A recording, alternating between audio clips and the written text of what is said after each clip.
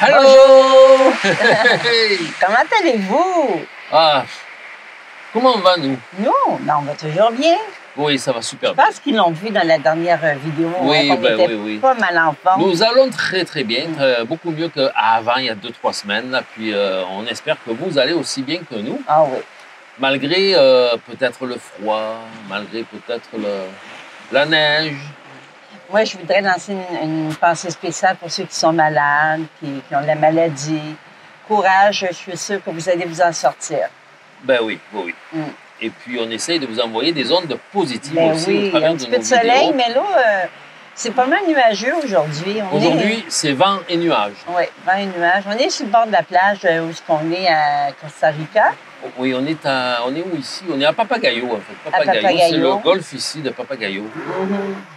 Et puis, euh, voilà, donc on a bien profité. On s'en va bientôt. En fait, là, la vidéo, on la tourne un peu d'avance. Samedi, quand elle va sortir, nous On est en route dans- On sera dans l'avion samedi? Non, non. Non, non, non, on s'en va à l'autre hôtel. On s'en va à San, San José, San José, la capitale du Costa Rica, pour une nuit à l'hôtel à côté de l'aéroport, parce que le lendemain, donc dimanche, demain pour vous, on s'en va à Mexico City pour trois jours. Oui, puis de là, on va vous faire une autre vidéo. Tu te rappelles, on avait fait une de là aussi euh, l'année passée, la ville de Mexico même. Ah oui, de- ah oui on, On, avait, mis, ça. oui, on Bah avait oui, on mis est- du Frida Kahlo, puis tout ça. Oui, mais C'était très, très, très beau. Ben là, on va aller visiter euh, une des plus grandes pyramides. euh, Mm. euh, C'est une pyramide aztèque, ça s'appelle Teotihuacan.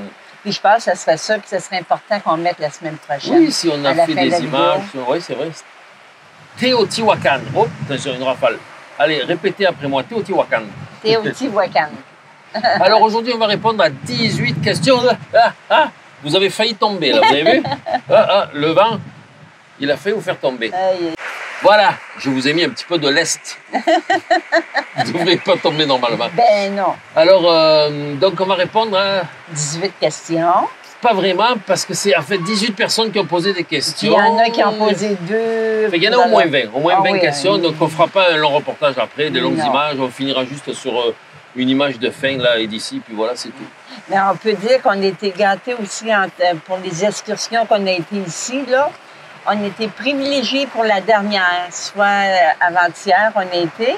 C'était faire du tout-terrain, du moto tout-terrain. Comment vous appelez ça en France? Euh, en France, on appelle ça du quad. Ici, au Québec, on appelle ça du VTT. VTT.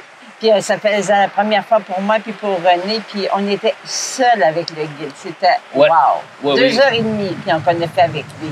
Et euh, bah, c'est ça, on a pu voir donc, des choses qui ne se voyaient pas de la route. Hein. On a vu, hey, on a vu un gros serpent au milieu de la rue, là, oui. Oui, on a. On a vu des singes, euh, un qui, euh, qui allait, euh, qui après nous, qui nous disputait parce qu'on était trop proches. Oui, euh, et puis nous avons vu des, des vautours juste à côté Ah de nous. oui, aussi. ben oui, des vautours. enfin, c'est- très- pensais que c'était des dingues.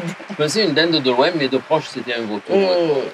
Fait qu'on va commencer, Allez, hein, parce qu'on est pas mal. Ah oui, bah oui, ah oui, ah On oui, commence au boulot. par- Oh, oh, oh.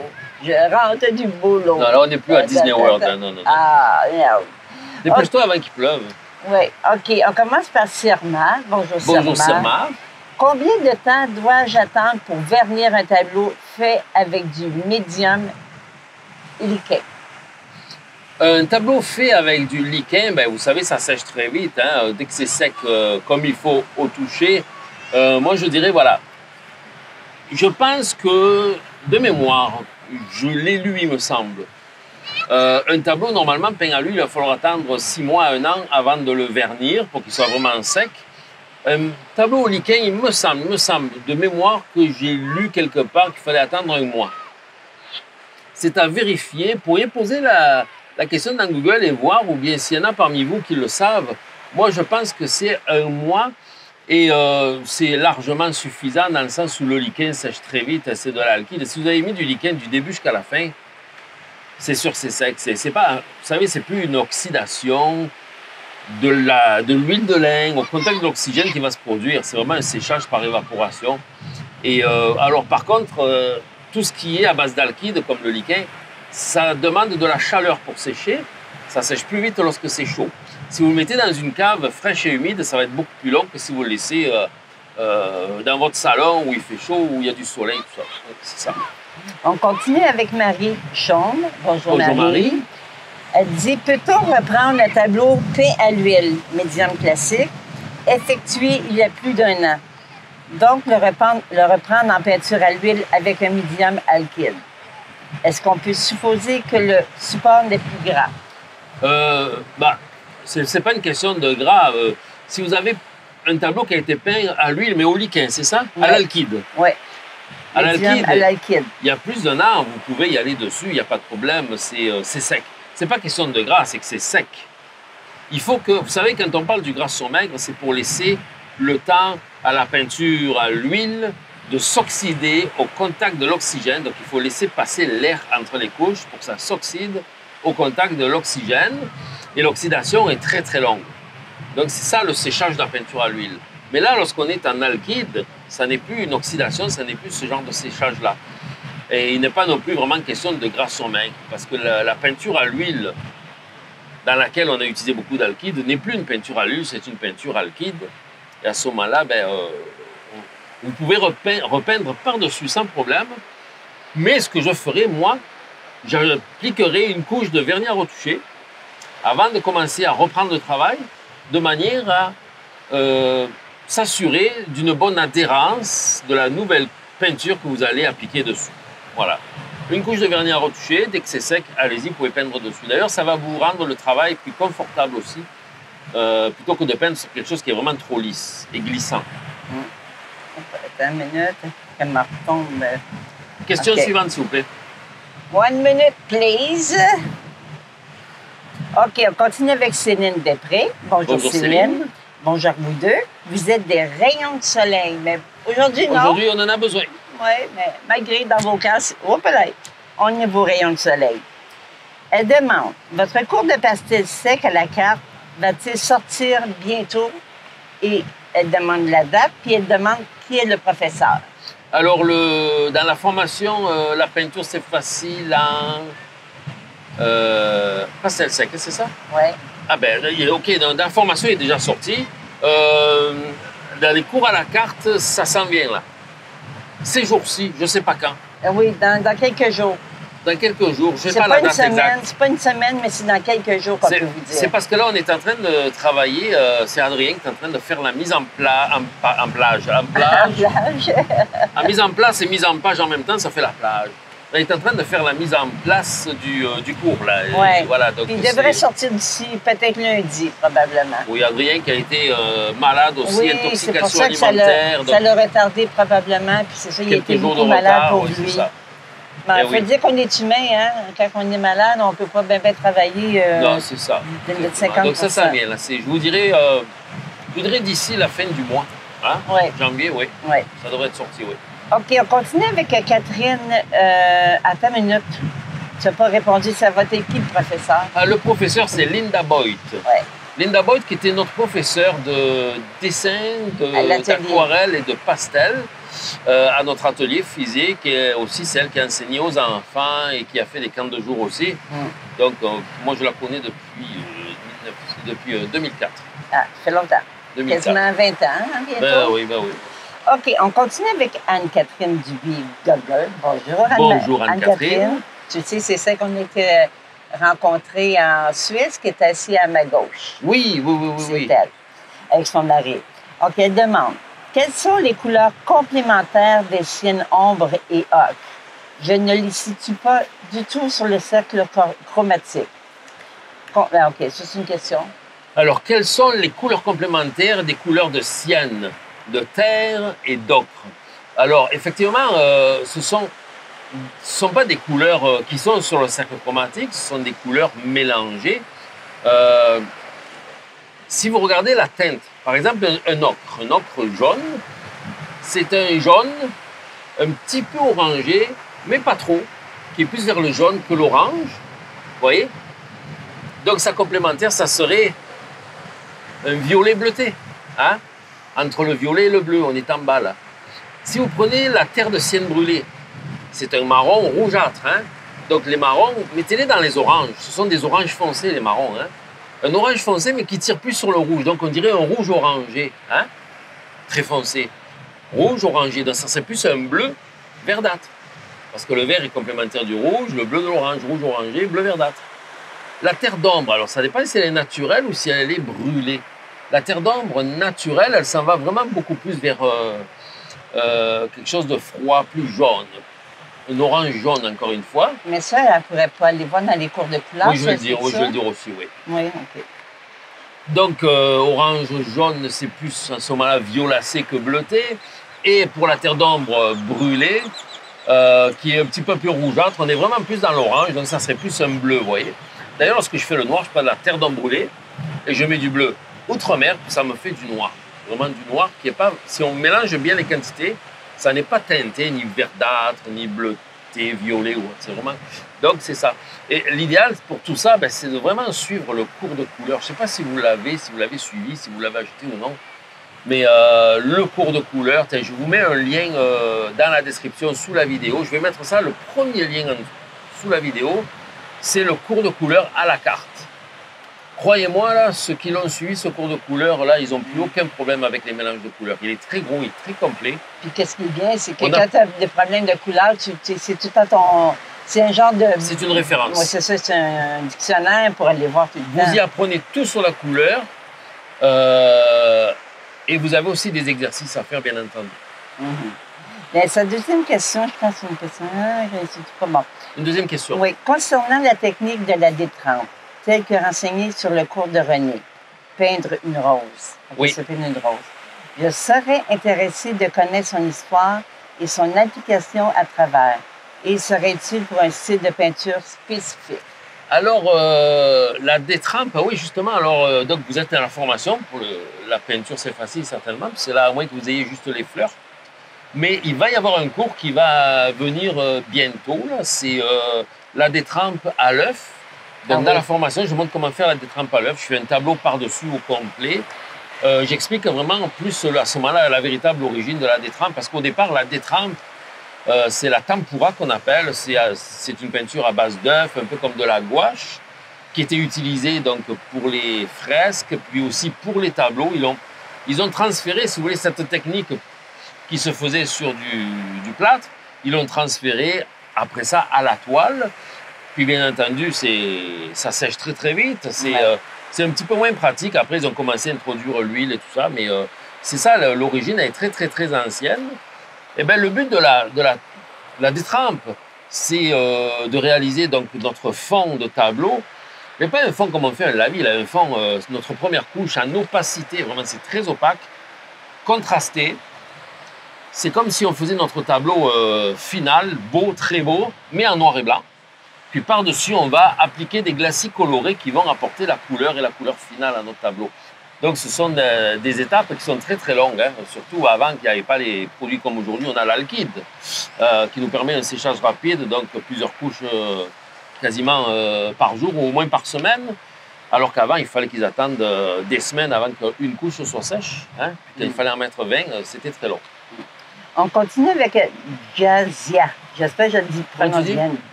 Jazia. Jazia. Jazia. Bonjour, Bonjour Jazia. Jazia. Excusez. Jazia. Elle dit bonjour Linda et René, vous êtes magnifiques au soleil et c'est toujours un plaisir, euh, excusez, de vous voir tous les deux et vous écouter. Votre chaîne est une bouffée d'air. Bravo. Merci beaucoup. Merci. Merci J'aime ça d'en dire un petit peu parce que ça nous encourage à, Ben, c'est- vous en donner d'autres. hein. Regardez, là, on vous donne beaucoup d'air aujourd'hui. Vous manquez pas d'air. hein. Ah, non, non, non. Elle a une question pour toi. Oui. Elle Allez. dit J'ai une toile que mon papa a commencé. Il n'a pas pu la finir car il est tombé très malade. Ah, il est Dieu. mort en 2018. Ah, Ben, ben nos condoléances. Condoléances. Oui, en Et- retard, mais bon. Oui, ce que je voudrais, c'est la finir à sa place et la garder précieusement. Sauf que lui a peint à l'huile et moi, j'utilise l'acrylique et la pastel sec.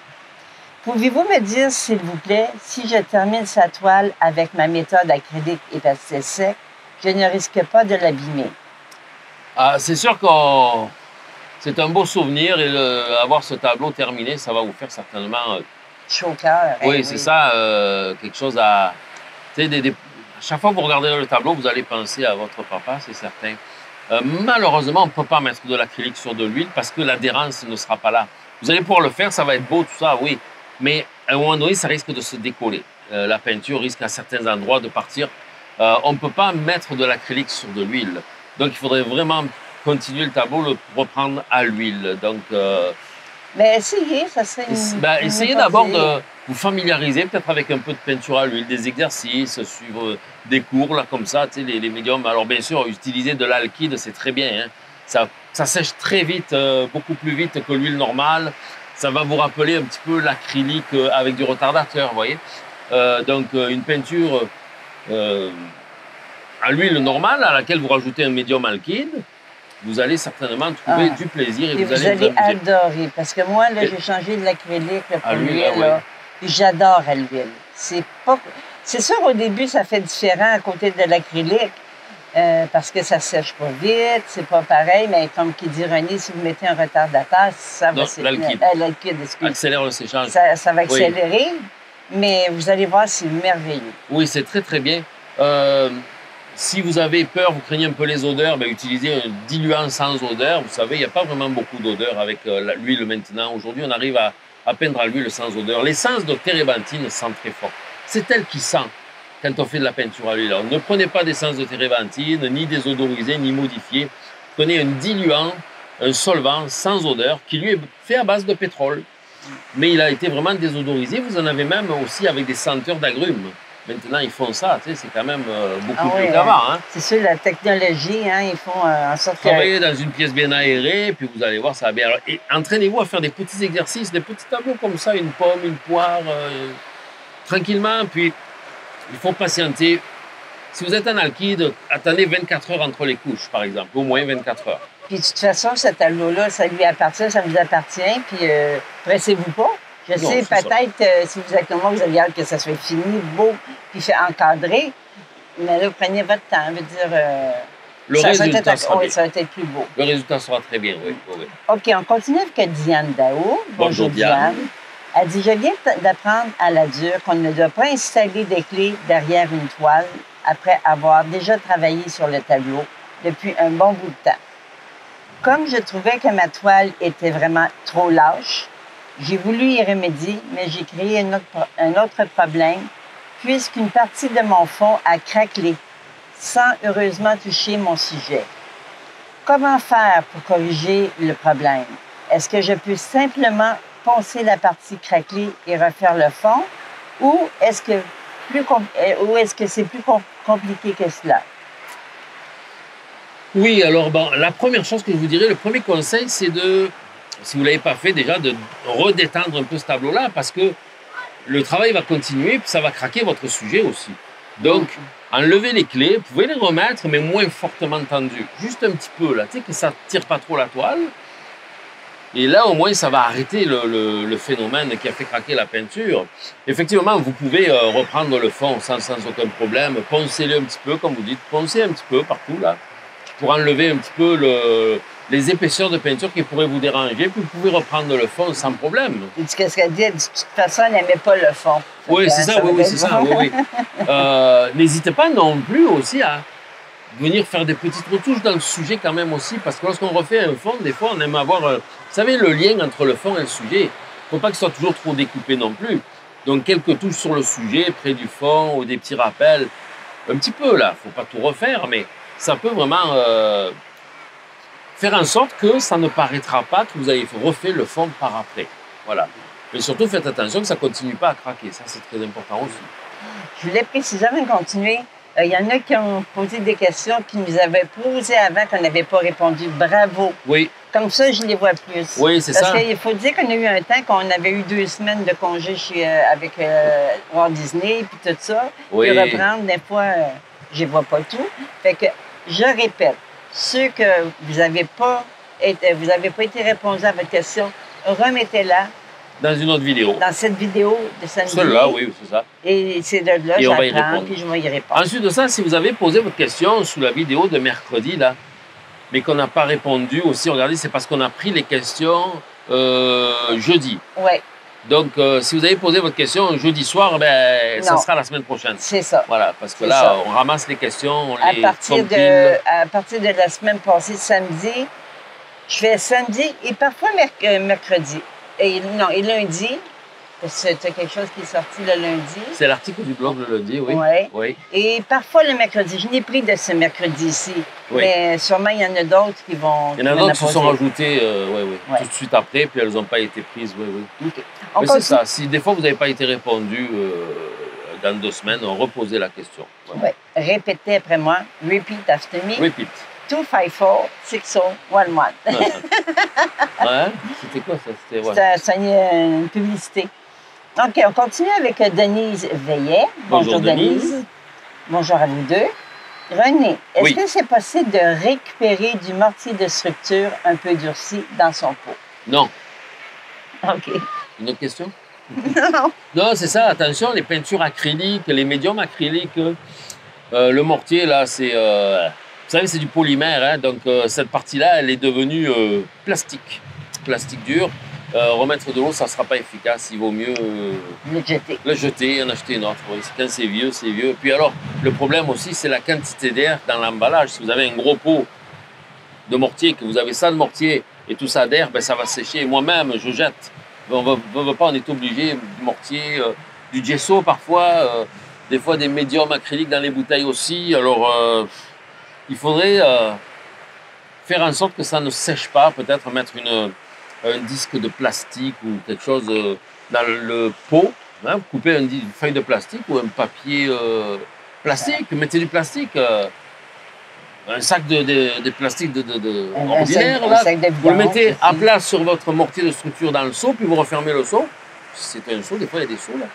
Et l'air, euh, c'est ça, vous protégez du, du séchage, effectivement. Il faut utiliser des moyens comme ça pour arriver à.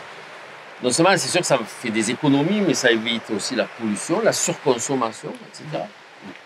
OK, on continue avec Julia. Bonjour, Bonjour, Julia. Julia. Ça, ça en est une, je pense qu'on n'y avait pas répondu. Ah. Elle a deux questions. Allons-y. La première, j'ai repris la peinture à l'huile que j'avais délaissée pour l'acry- l'acrylique et mes tubes datent et, mes tubes sont de longue durée. Oui, oui, oui. Est-ce que les couleurs se détériorent et ternissent sur la toile prématurément? Non, euh, de la vieille peinture à l'huile dans un tube, si elle est encore souple, Oui. Si elle n'est pas sèche, vous pouvez l'utiliser, il n'y a aucun problème. Non, non, c'est. Vous pouvez même avoir des très bonnes peintures à l'huile, très anciennes, qui sont peut-être de meilleure qualité que des nouvelles euh, peintures à l'huile de bas de gamme aussi. Donc ça peut être bon, oui. Mais un conseil pour vous, si vous, vous l'avez puis vous pensez la garder longtemps, mettez-la dans le congélateur.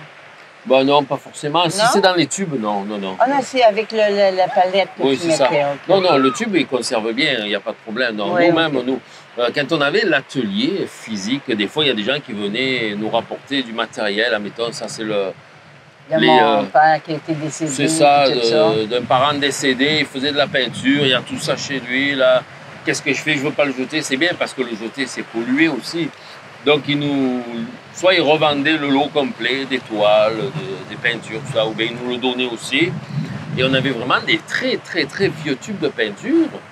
Euh, et ça fonctionnait bien. euh. Est- il fallait prendre une pince pour ouvrir le bouchon, puis après, euh, elle était fraîche, vraiment fraîche dedans. La peinture à l'huile, c'est très bien. Puis elle ne bouge pas, elle ne ternira pas sur la toile plus qu'une autre peinture, il n'y a pas de problème. OK. en- sa deuxième question, elle dit si j'utilise le médium vénitien dès ma première couche, Oui. est-il impératif de respecter le gras sur maigre? Euh, oui, pour la peinture à l'huile, il faut toujours respecter le gras sur maigre. Mais le médium vénitien, vous pouvez l'utiliser aussi euh, pur. Vous en mettez une quantité à votre peinture, à toutes les couches.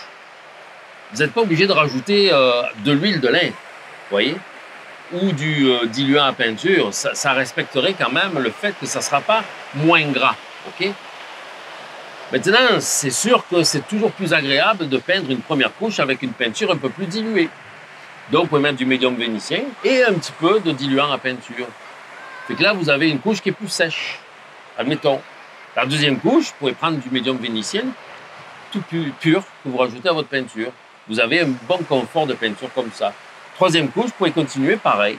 Ou bien, si vous voulez être certain de ne pas avoir de problème avec le gras sur maigre, mettre une petite quantité, toute petite, infime goutte d'huile en plus à votre médium vénitien. Et là, vous êtes certain d'avoir respecté le gras sur maigre. Mais tu sais, c'est parce qu'on aime le vide médium vénitien, sa consistance. Alors pourquoi le.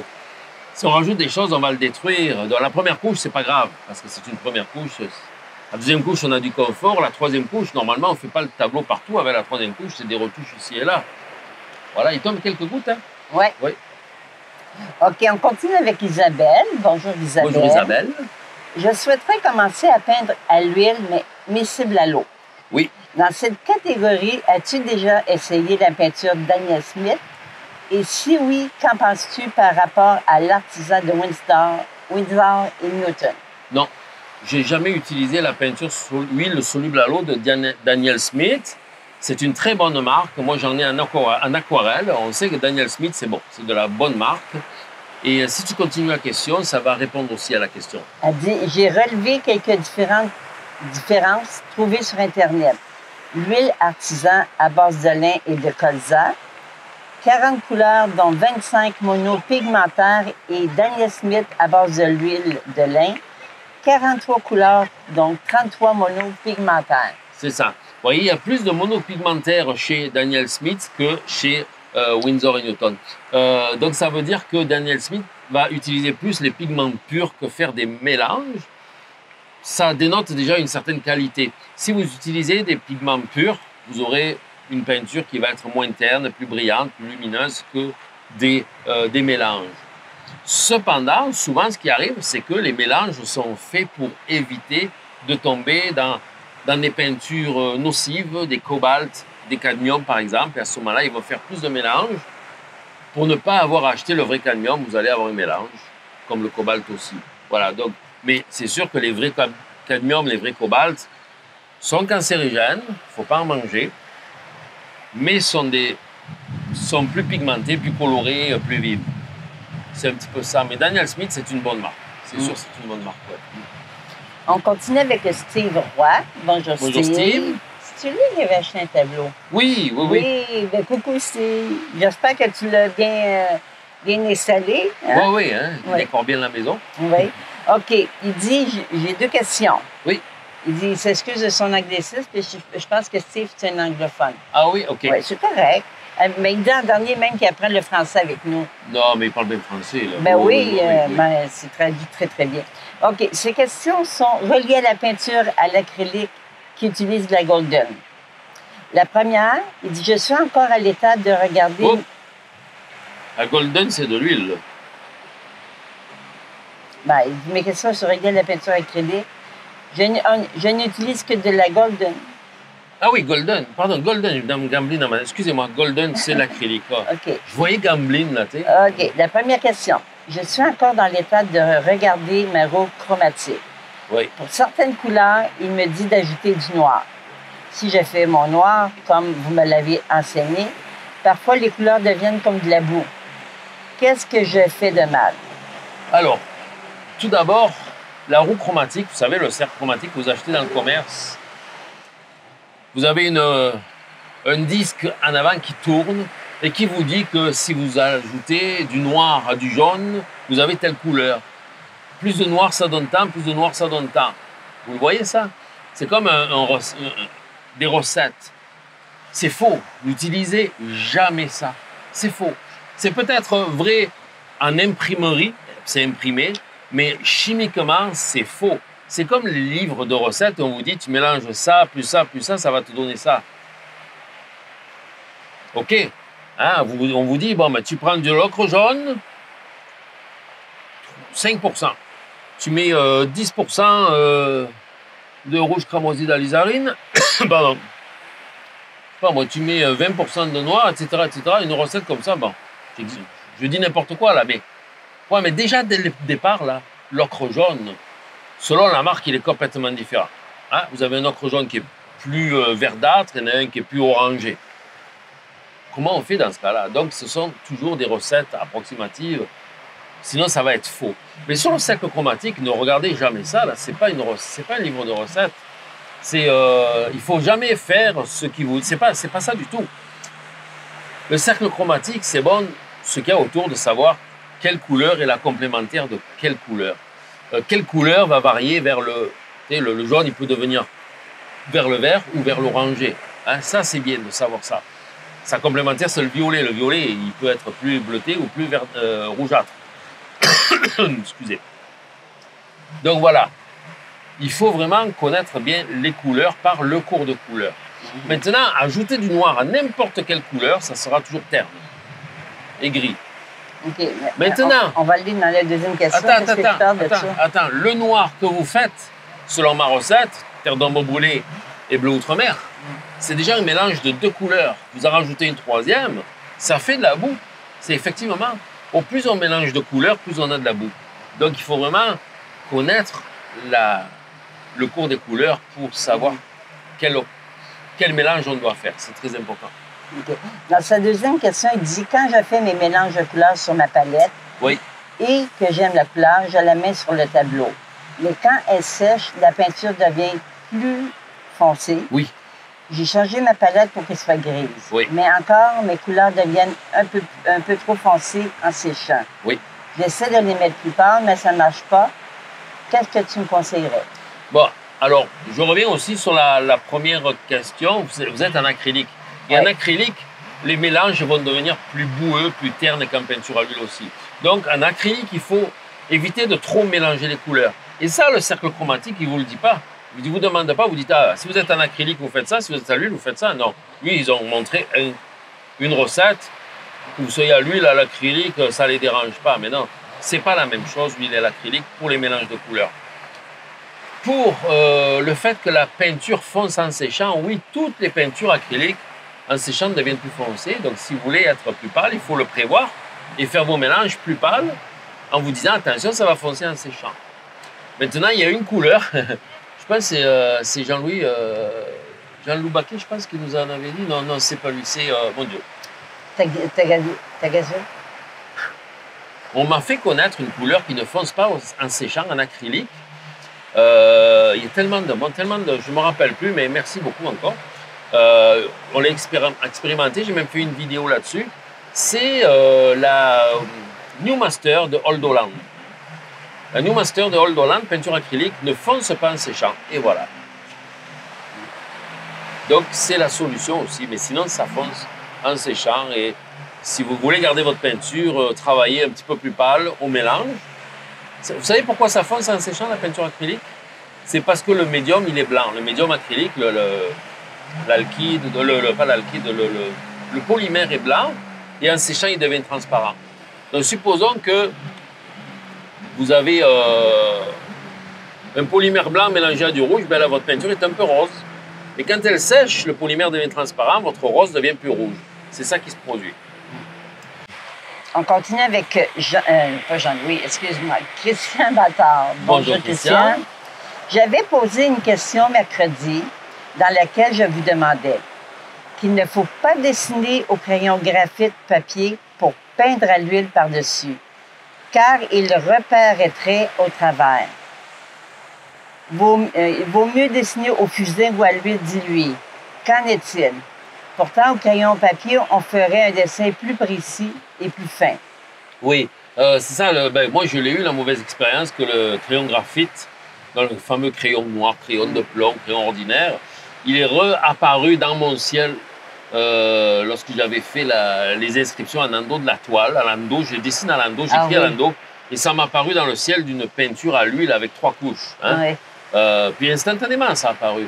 Mais on me l'avait dit. On m'avait dit, si tu dessines au crayon, ce crayon graphite, chimiquement, je sais pas, il va réapparaître peut-être. Donc voilà, euh, il vaut mieux éviter le crayon graphique. Alors effectivement, un crayon, c'est plus mince que le fusain, ça fait des dessins plus précis. Par quoi le remplacer? Ben, Les crayons de couleur, c'est bon. N'importe quel Crayola. crayon de couleur, euh, comment tu dis Crayola? Pas Crayola, dans les autres. euh, Prismacolor, par exemple Ah oui. Prismacolor, c'est une excellente marque. Euh, du crayon fusain, pastel, pardon, crayon pastel. Vous pouvez prendre de la sanguine, n'importe quoi, mais c'est vrai que les crayons, un crayon de couleur bien taillé, ça fera très bien le travail. Et là, vous n'aurez pas le problème que ça traverse, parce que c'est pas du graphite. C'est ça qui est bien. On l'utilisait Euh, beaucoup à crayons l'atelier. aquarelles aussi, crayons aquarellables. Ah Ben, oui, c'est ça, ça, que ça, ouais. je voulais dire. Ouais. On l'utilisait à l'atelier. Ah oui, oui, oui. Puis euh, moi, moi, je faisais ma mise en carreau, puis je faisais le dessin, puis après, je pouvais tout effacer euh, mes- ma grille euh, Oui. Ah facilement. oui, oui, oui. OK, on continue avec Isabelle. Bonjour, Isabelle.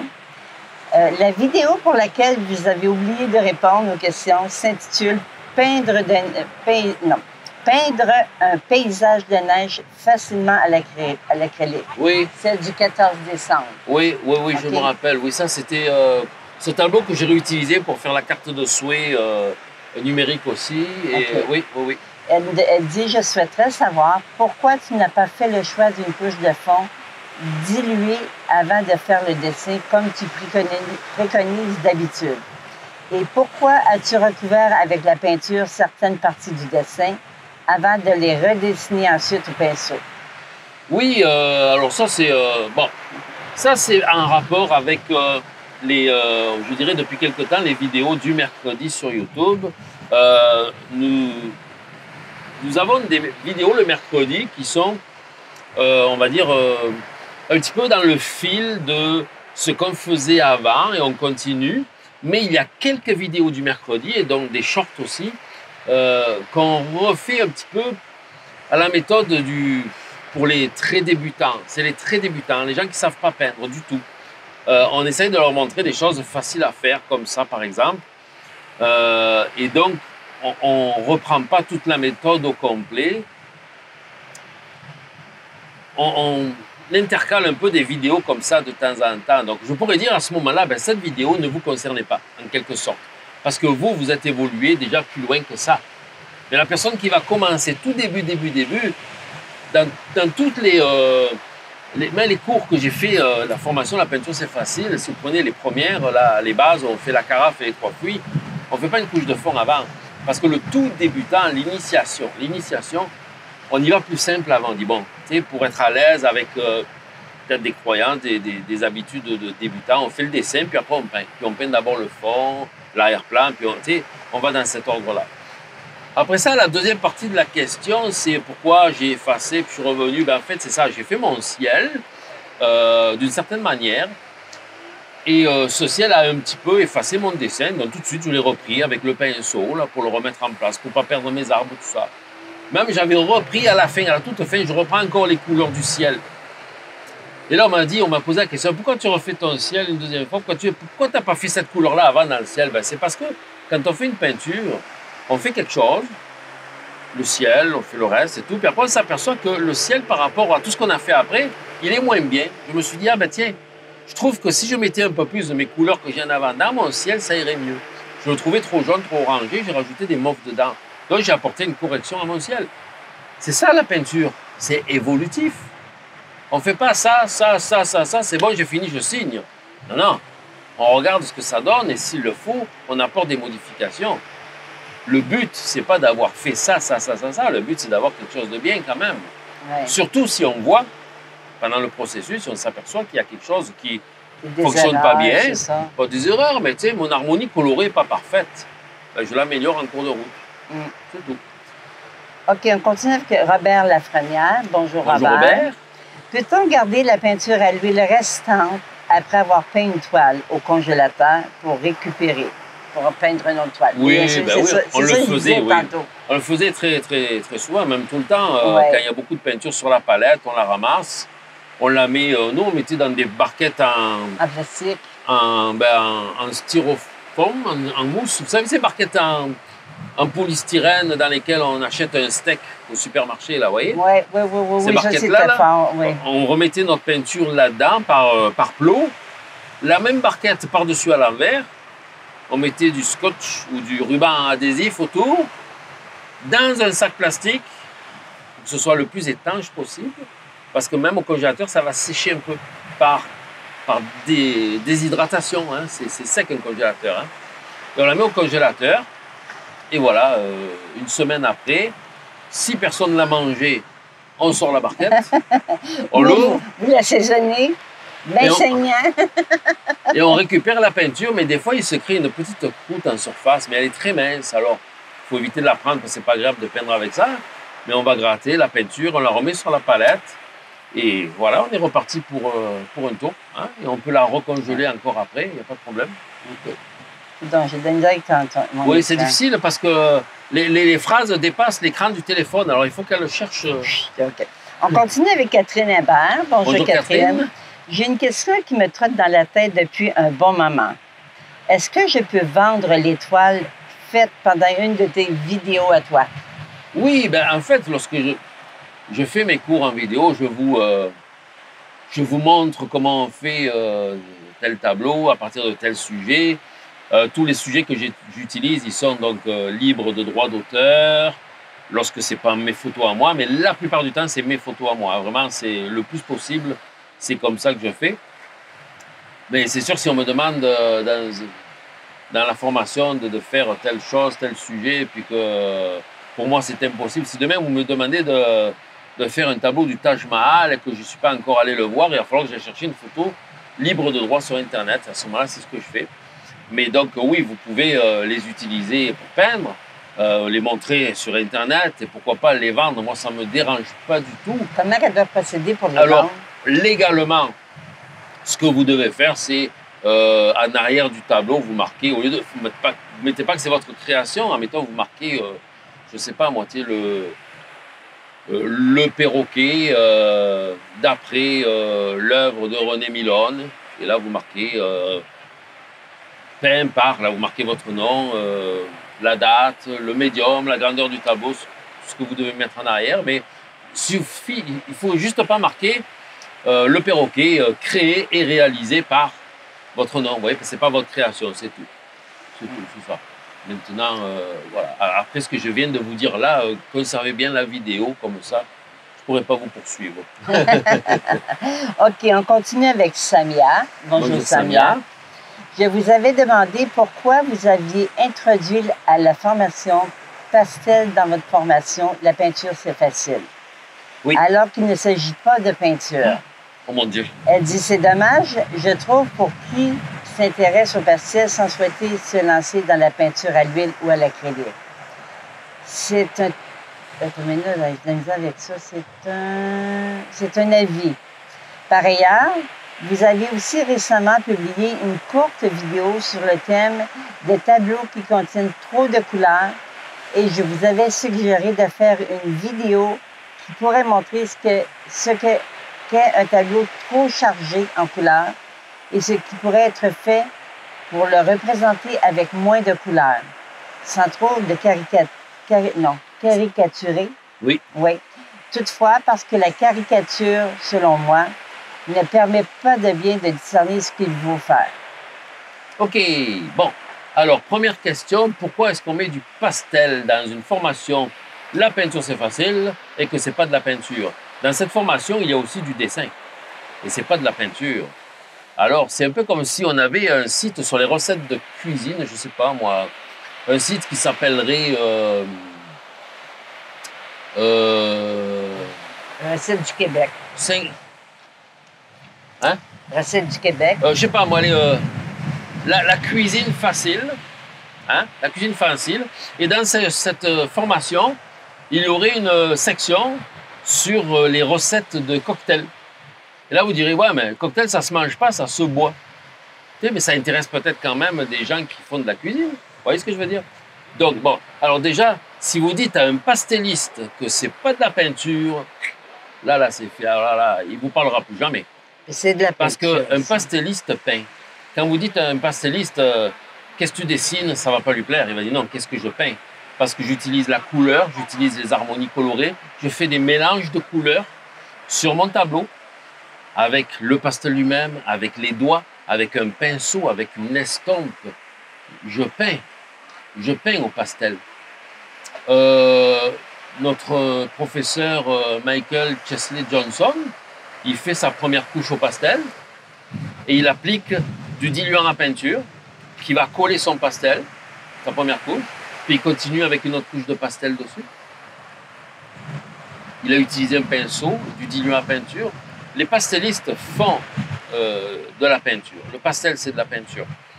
Et alors justement, euh, ce cours de pastel qui est dans la formation La peinture, c'est facile, on va... euh, ben, on en a parlé au début, c'est ça. Il va être disponible aussi dans les cours à la carte et vous allez voir que même, même Léonard de Vinci a utilisé du pastel, pastel sec. Ça existe depuis la Renaissance, peut-être même avant, euh, au moins depuis la Renaissance au moins.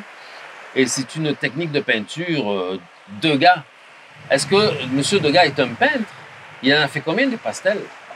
Vous allez au Louvre, vous avez les pastels de Degas, les pastels de Renoir, vous les avez avec les autres tableaux. Euh, Berthe Morisot. Hum. Hein? C'est- elle l'a fait elle au pastel, puis moi, je l'ai faite à l'huile. Le, Donc, euh, le le même tableau. Pour vous corriger, le pastel est une technique de peinture. Mm. C'est une technique de peinture. Voilà. Sinon, vous allez vraiment euh, rabaisser les pastelistes à. Ça, ça risque de vraiment les, les fâcher, les vexer. On avait un aussi à l'école, quand on donnait nos cours. On avait- Il y avait tout du monde pour la peinture, puis lui, c'est un pastel. Oui, on avait des cours de pastel à l'atelier Ben oui, bien ben sûr. oui. oui. École de peinture, ça s'appelait l'atelier René Milon, école de peinture. Et on faisait du pastel. Euh, L'autre question, c'est. De mettre un cours, une vidéo Ah oui. sur le thème des Oui, tableaux oui, j'avais fait un. trop de couleurs. J'avais fait euh, une vidéo, un short, hein, c'était un short où je disais euh, si on met trop de couleurs comme ça partout là, tout d'un tableau avec trop de différentes couleurs, euh, sans avoir une couleur dominante, euh, des contrastes, des, des complémentaires, tout ça, c'est pas une gestion des couleurs. Notre tableau peut ressembler à une pizza et ne pas être intéressant. Effectivement, euh, oui, je pourrais, je pourrais, sans faire une caricature, montrer un tableau avec trop de couleurs. Il faudrait que j'en fasse un, je sais pas. Ou en trouver un d'un artiste peintre euh, dont les droits d'auteur sont tombés dans le domaine public, pourquoi pas. Sûrement qu'il y en a, certainement. Peut-être que des artistes peintres, euh, à l'époque, peut-être que certains grands maîtres ont abusé des couleurs. Aussi, ça se peut. Et je pourrais montrer que co- comment ça pourrait être mieux, alors là, entre guillemets, avec cette, euh, on va dire, cet assortiment de couleurs-là. Parce que, parce que, attention, quand je dis trop de couleurs, c'est mal. Trop de couleurs sur un tableau, c'est mal, c'est un peu ça. N'oublions pas que c'est des vidéos YouTube, on fait des messages, on veut que ce soit vu, que ce soit flash, que la personne arrête là-dessus et aille la voir la vidéo. Hein? Mais de l'autre côté, n'oublions jamais que toute règle en peinture, toute loi, toute règle peut aussi être euh, transgressée simplement pour faire ressortir telle ou telle émotion. Et moi, sur mon tableau-là, admettons, je voulais avoir trop de couleurs, justement pour renforcer cette idée de, dynamisme, de joie, euh, peut-être euh, rendre mon tableau plus euh, naïf, plus enfantin. Pourquoi pas? On peut. Alors, il y a les lois, il y a les règles, on peut les transgresser, ça fait partie de l'art. Parce que n'oublions pas que la définition de l'art, c'est de susciter une émotion. Hein voilà. Et cette émotion n'est pas forcément. Oui, c'est beau, j'aime ça, c'est beau, ça peut être autre chose aussi. OK, on continue sur la vidéo pour débutants en peinture à l'huile sur le paysage d'hiver. Je pense que tu viens juste de faire mercredi. Oui, Oui. Euh, c'est Diane Mongier. Bonjour, bonjour Diane. Diane. Alors, la prof René Bravo. Ah, merci. Très, très beau. Elle demande quelle différence entre le modèle et le résultat final? Non, c'est pas une question. Non, elle dit. Oui, quelle différence? Il aurait fallu qu'il y ait un point d'exclamation. Quelle Ouais. différence Ouais. entre le modèle et le résultat final. Parce que j'ai beaucoup interprété, oui. OK. J'aime vraiment le style impressionniste. Le mariage et couleurs donne une belle harmonie colorée et une bonne ambiance. Malgré la neige, on ressent un côté chaleureux devant ce paysage naturel. La question. Je voulais savoir, lorsqu'un tableau peint à l'huile est raté, Oui. est-ce qu'on on peut le, le recommencer? Comment faire pour le recommencer? Ben, si votre tableau peint à l'huile est complètement raté, n'oublions pas qu'on est à l'huile, il faudra revenir par-dessus avec de la peinture à l'huile, hein, Mhm. pas de l'acrylique, mais le mieux, ben, c'est de laisser sécher complètement. Non, non, d'abord. Si C'est pas sec, si c'est pas sec complètement, c'est de passer de- du diluant à peinture, essence de térébenthine ou autre, avec un pinceau, laisser vraiment agir le diluant, et puis l'effacer, euh, l'éponger, euh, frotter avec un chiffon. Là, vous allez pouvoir retirer un maximum de peinture, Mhm. peut-être même arriver jusqu'à la toile blanche. hein. La toile va rester peut-être un petit peu teintée, merveilleux, vous avez une couche de fond. hein. Et là, vous allez pouvoir, dès que c'est sec, commencer votre dessin, etc. Euh, si c'est sec, ben, il faut poncer, poncer, poncer pour enlever le maximum d'épaisseur qui vous dérangerait. Après ça, vous pouvez commencer à peindre. C'est sûr qu'il y a des personnes qui n'aiment pas peindre sur des choses euh, qu'on peut voir encore au fond du tableau. Donc, vous pourriez appliquer une couche de, de votre couleur de fond d'abord, laisser sécher, puis après peindre. Voilà. Ben oui. C'est ça, mais euh, votre. Une fois que vous avez bien poncé tout ça, là, euh, bien poncé, vous pouvez encore essayer aussi de, de décaper avec du diluant à peinture. Ça devrait. euh, vous permettre après de commencer votre tableau euh, avec la méthode du gras sur maigre en commençant par du maigre. Oui. On continue avec Jacqueline. Bonjour, Bonjour, Jacqueline. Jacqueline. Elle a une question concernant les additifs. Oui. J'ai toujours eu un peu de mal avec ça. J'ai vu que pour le premier passage, sans tenir compte de la couche de fond et de l'esquisse, vous avez utilisé du solvant puis de l'alkyd à la deuxième couche. OK. OK? J'avais cru comprendre que l'on devait utiliser de l'alkyd dès la première couche. Pouvez-vous m'expliquer, s'il vous plaît?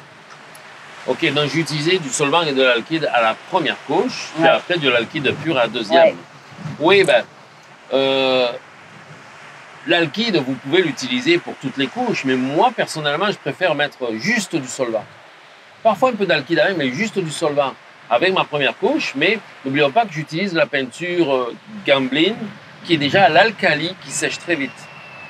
Euh, en faisant ça, ma première couche va sécher par évaporation quasiment instantanément. Vous voyez, donc après ça, je reviens dessus avec ma deuxième couche, mais j'ai pas laissé sécher une semaine non plus, là, c'est instantané. Donc, je suis à la prima. Quand je travaille comme ça, je suis à la prima. hein.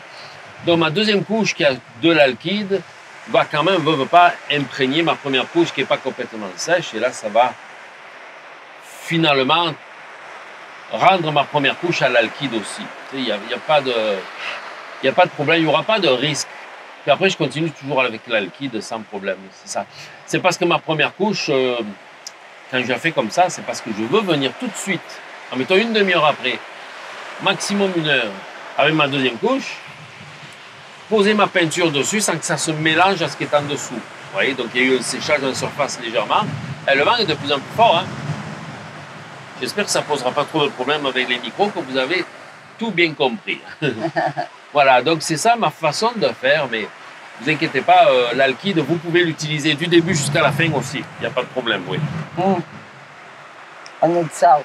Alors, on mange du sable. hein. OK, la dernière question. Oui. C'est Christine Allais. Bonjour, Christine. Bonjour Christine. Euh, bonjour. Quelle est la correspondance de ce chevalet en France? Ah, ça, c'est dans une vidéo euh, où vous voyez que je peignais sur mon chevalet euh, Day Tripper.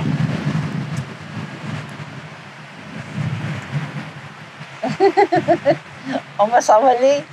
Attends, attends, attends, attends, attends. Parce qu'un Day Tripper, je coupe. Je, je réfléchis, je cherche le nom. Day Tripper de. Day Tripper Isle de. Putain, ça, là, c'est trop loin. Day Tripper Isle sur un site internet américain. Donc, il n'y a pas de correspondance en France. Ça n'existe pas. Ça vient uniquement des États-Unis. C'est un- une palette avec deux volets qui s'ouvrent pour placer les pinceaux, les tubes de peinture, mes couleurs. Et ça se place sur un trépied d'appareil photo, tout simplement. Et euh, ça, c'est la partie palette. Et la partie chevalet, ben, c'est un système de baguette en bois euh, articulé qu'on place aussi à la place de... Vous savez, le truc qu'on visse sous l'appareil photo ou sous une caméra, là, on visse ça, ce petit plateau, là. Donc, on le visse sur ce système-là et puis on le met sur le trépied d'appareil photo. Donc, le trépied d'appareil photo devient chevalet. C'est ça qui est vraiment très bien. Donc, c'est ça, ça vient uniquement des États-Unis. J'avais déjà parlé de ça, je pense que j'avais déjà fait des vidéos dans lesquelles j'avais donné toutes les informations à ce sujet-là. Vous tapez euh, Day Tripper Easel sur Internet, vous allez le trouver. C'est tout. Hey, on est correct, hein? on ne s'est même pas envolé, chérie. Ah, par contre, la marée monte aussi. La marée monte et puis euh, ben, elle est encore basse là. Aïe, aïe, aïe, aïe, aïe, aïe. On est en période euh, de nouvelle lune. Puis moi, là, ces lèvres, là, j'ai plein de sable. Ah, on passe des vacances horribles. Là, là. Alors là, c'était un petit peu, oui, un petit peu nos vacances quand même. Là, euh, mais à partir de, du La semaine 1er prochaine. février, on va être installé en appartement euh, Ouais. au Mexique. Là, on va travailler fort tous les jours, tous les Ouais, jours. on ben, a des belles choses à vous, en- à vous emmener aussi. Oui, oui, c'est ça. On sera au Mexique, mais pas en vacances. Non. Donc, comme ici, on a quand même pas mal travaillé, j'ai quand même fait euh, trois vidéos pour YouTube ici, sur cette plage, dont la première qui n'a pas bien fonctionné. Donc, vous voyez, on fait des fois des tournages, puis ça sert à rien. Ah oui. Donc, euh, arrivé à, l'ordinateur, on met ça, on dit Ah zut, non, ça marche pas. euh, j'ai toujours, toujours ma main devant euh, mon dessin, on voit pas ce que je fais, euh, ma caméra était mal placée. Tu sais, parce qu'ici, on n'est pas comme un studio, je peux pas avoir des moniteurs partout qui montrent ce que les caméras filment. hein. Donc, c'est euh, le deuxième, c'était bon? Ton dessin. Mais le, dans le troisième, le dessin, je ne sais pas encore. Je ne sais pas trop parce que des fois, je ne suis pas vraiment cadré. Donc, euh, on va voir notre équipe ce qu'ils vont pouvoir faire avec ça. Alors, soit euh, ils vont vous faire quelque chose quand même avec, soit c'est du, on va dire, du temps perdu, mais d'un côté, c'est de l'expérience de gagner. Bon, voilà, c'est ça qui arrive. Et euh, voilà, donc ben, on va finir, parce que ça fait très longtemps qu'on est là euh, sur cette vidéo-là. hein. Euh, On va finir rapidement, juste une image très calme, belle, avec un peu de musique là pour euh, terminer cette vidéo. Puis on se retrouve mercredi avec la vidéo technique et samedi prochain, donc on sera certainement à Mexico. À Mexico. À très bientôt, on vous embrasse. Bye bye.